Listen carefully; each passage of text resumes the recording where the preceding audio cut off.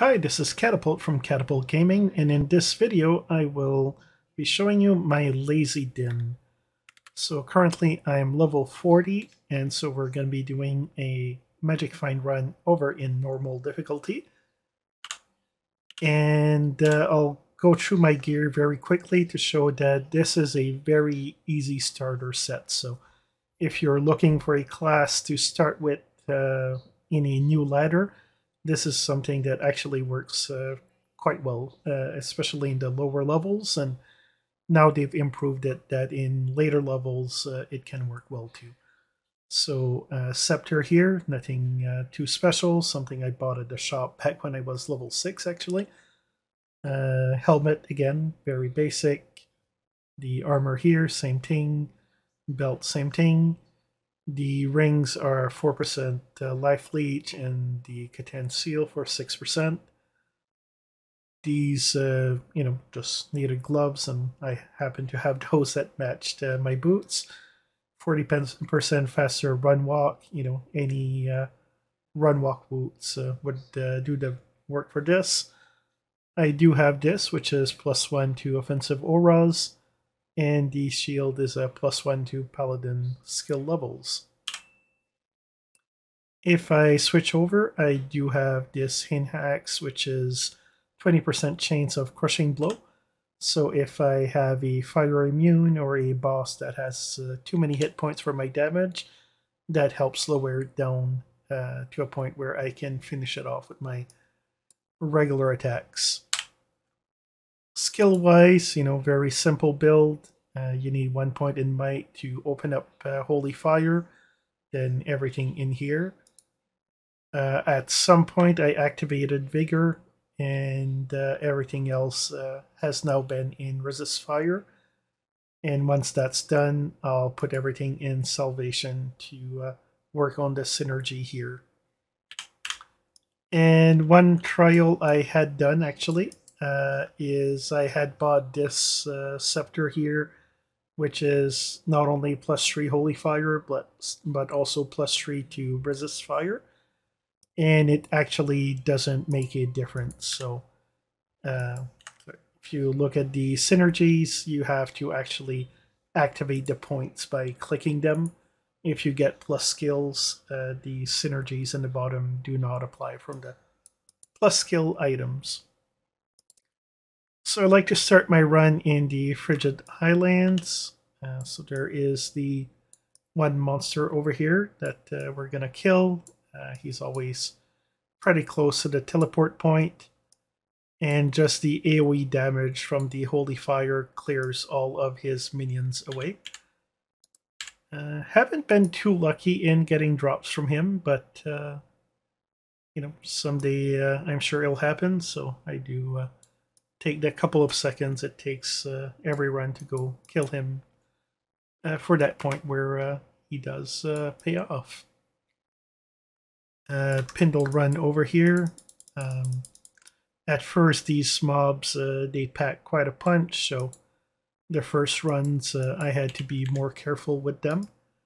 but now at this point, I just you know run through and no issues. I've been doing this run since uh, I was about level 30, so uh, at first uh, had to be more careful in all of these areas and make sure that the Holy Fire AoE uh, killed all the mobs before I got too close in.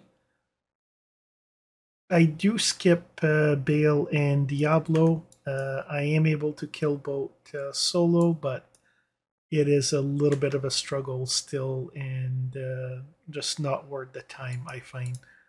Uh, I'd rather uh, do more runs in and maybe not kill as many mobs uh, each run, but uh,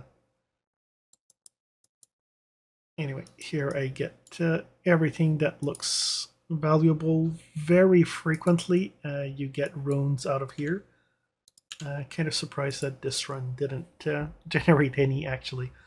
Uh, it's uh, you know quite reliable for uh, runes and uh, especially the tool rune over here. I got quite a lot of the, those. and Yeah, not quite sure what that one is, but I'll save it aside for later and look. Oh, plus one to all skills.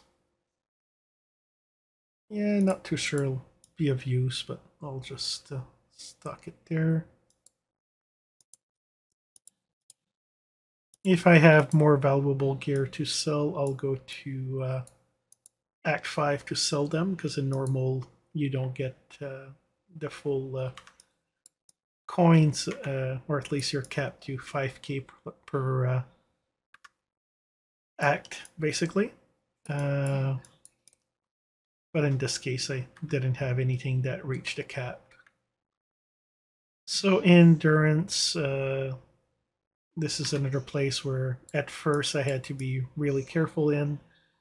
Now I can mostly run through with uh, vigor and just try to find the door to go down to the next level. I do have cleanse, so if I get a nasty poison, I can switch to cleanse it. And if I find I have too many mobs uh, that have aggroed me, uh, then I'll switch over to Holy Fire just to clear them and make it a little bit uh, easier on myself. Because again, this is a Lazydin build, so the idea is to make the runs as easy as you can and as stress-free as you can. And this is not a build where uh, you have to be uh, always on high alert and uh, you know if you do a teleport run uh, over here with a low level sorceress uh, it uh, doesn't take much for her to get killed in a corner somewhere and die to a whole bunch of mobs but this build here you know quite solid and and in terms of stats, you know, I still have 87 points that I didn't even assign, so uh, it's not like uh, I've put everything in life. Uh, I'm uh, keeping the other ones open just in case if I uh, get a piece of gear that uh, requires more strength or dex, then I can very quickly adjust. Over here, just walk through, kill the mobs pretty quickly. Mephisto does take a bunch of hits to kill, but Definitely not a challenge. Like to open the chest here. Never know what you'll find in that one. And there's another elite, so I tend to clear the elite, so on both sides of here.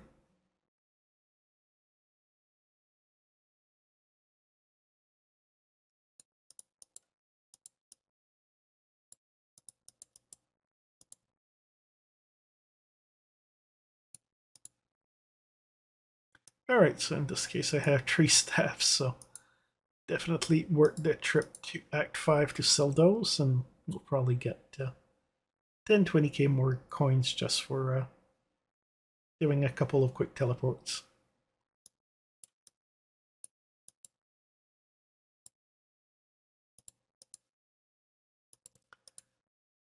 Yeah, so one was worth 25k, the other one 22.5. It's pretty good. So 72k just for that quick run. And then we'll go to the Black Marsh, uh, look for the tower to do the Countess uh, downstairs. Switch over to Vigor. Uh, haven't found an easy way to find the tower. Uh, some days it's uh, it seems like you uh, bump into it right away, and other days uh, you almost have to do the whole map to find it. But frequently I find it's not too far from the paths, although the roads don't uh, directly lead to it, but I tend to look, uh, yeah, that one was the path to the hole.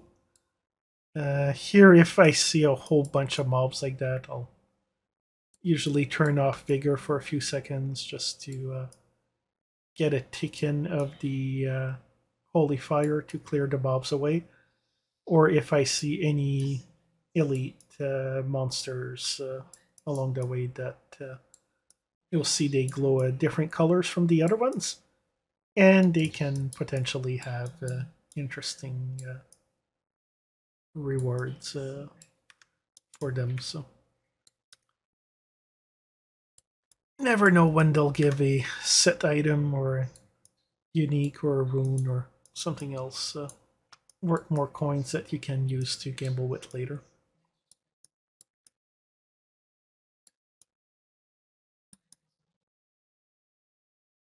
Yeah, so some days again the tower is right next door and sometimes it seems to be quite elusive, but we have found it over here. And here I'll just run through. If I see a bunch of mobs, I'll switch to Holy Fire just to clear them out in case they have anything interesting, which these ones didn't.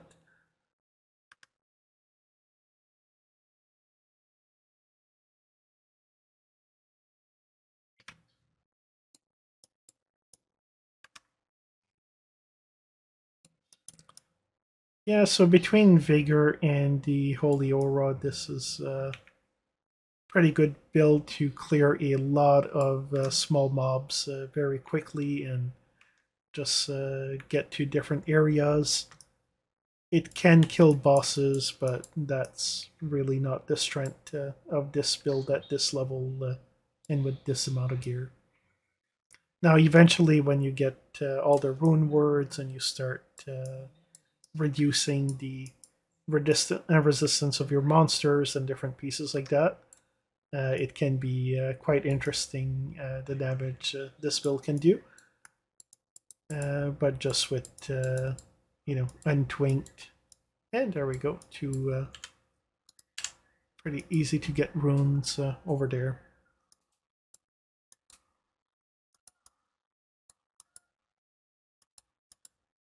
So we'll go into my rune system here. So I start with the lowest rune in the top left here, and that's the second one and so forth.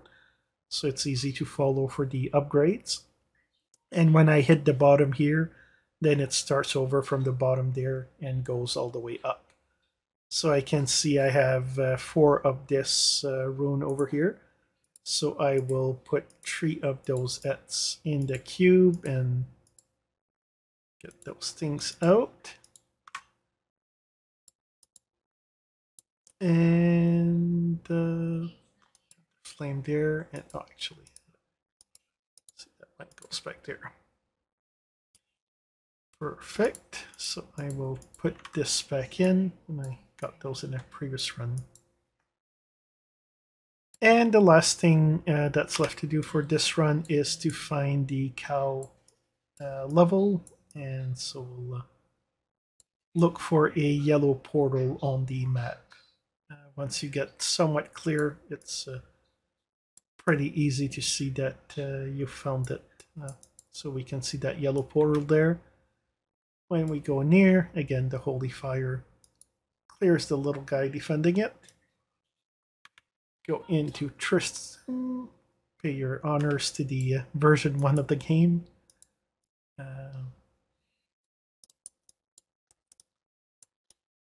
And let's go get Wirt's leg over here.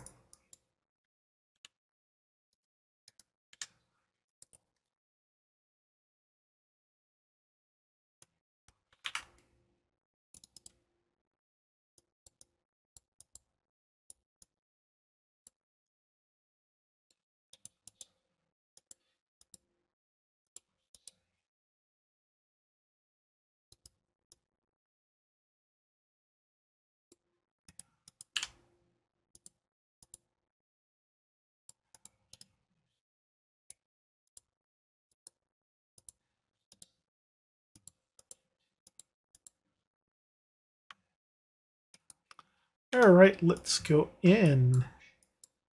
Back when I was level 30 and the biggest difference is basically my resist fire was lower.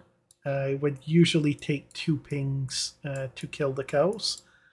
But now you can see that uh, most of the cows do get uh, killed in the first ping. So uh, that's uh, pretty good at this point and basically the higher level you get the bigger the radius also gets, uh, which means that uh, you can start uh, even killing the cows uh, as they're off the screen, uh, which is, uh, I mean, for this, you know, this build was built really as a cow killer like this. You know, you just walk around, pick up the loot, and that's really all there is to this. So in terms of next steps, I'll be uh, working on gearing this character out uh, better and basically doing a bunch of these runs. Uh, there is the king over here, uh, and because we're in the newer version, the Diablo 2 Resurrected, uh, we can kill the king and still open cow portals, uh, which is great. Uh, but yep, basically I'll uh, keep running uh, this uh, magic find run till I get some a bit of upgraded gear and you know the XP does slowly go up too. I've kind of hit the limit though. Now that I'm level 40, this run doesn't give as much XP anymore. At first, you get basically almost a full level uh, every run you did, but now it's only a fraction. Uh, but yep, I'll keep uh, running this a bit more to upgrade the gear and then uh, start working on uh, Nightmare. Uh, and then once I have Nightmare under control, I'll probably do a follow-up video and show what my build looks like at that point. Uh, still not sure if I'll be able to do it uh, without rune words or uh, if the uh, resistance uh, is going to be a major issue uh, in Nightmare. I know in the very old days that was kind of the downfall of this run that it was great in normal and then as soon as you hit Nightmare and then hell, their resident their resistances made this build uh, completely useless. But with some of the rune words now, you can uh, run both uh, your holy fire aura and uh, also an aura that reduces the resistance of the monsters, uh, which basically breaks their resistances, which uh, is quite invaluable for this build to work well. And typically, I don't necessarily uh, spend uh, time to clear out the whole uh, field. Uh, you know, basically, the king usually gives the best of the rewards. So, you know, basically, once the king is dead, uh, the rest is less worth it. Uh, but as we can see right now, you know, uh, Shael Rune is nothing to snicker at. So quite happy that I stayed a little, a little longer than uh, intended here. Uh, and basically, yeah, cows is a because of the number of monsters that you end up killing. Uh, cows is a great spot uh, for runes and basically for you know a lot of other things too that uh, very frequent to get uh, either a set or a unique item uh, in most runs. So we'll go to Act 5, uh, clear out our inventory a bit and see uh, if we got anything worth keeping in this run. Uh, very frequently, no, but once in a while you do get the pretty cool item.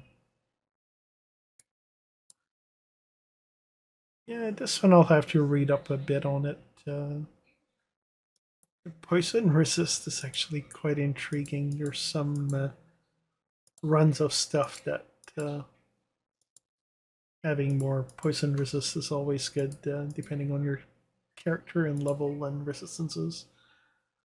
Uh, and then the shell is over there. Well, thank you for watching the video. If you have any questions, please uh, post them in the comments below. And I will see you in the next video.